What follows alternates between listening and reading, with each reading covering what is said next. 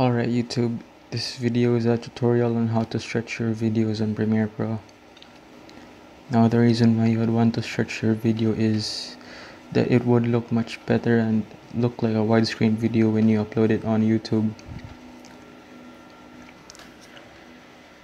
Alright, so now I have my clip here. Just a random clip that's that has a resolution of 1280 by 960 which is 4 by 3 and just drag it into your timeline. Next is go to sequence. Sequence settings. And then change the resolution to 1920 by 1080 press ok. Then ok again. Alright so now you guys see that the clip is like inside like a black screen so you press on the, the clip. Drag it out to fit the frame.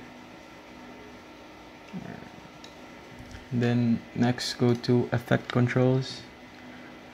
Uh, uncheck the uniform scale. Then drag the sides to fit the whole um, screen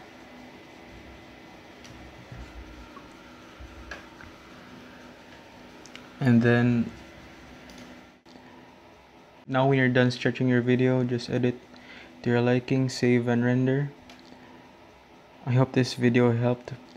Please like and subscribe to support the channel. I hope you guys have a good day. Thanks for watching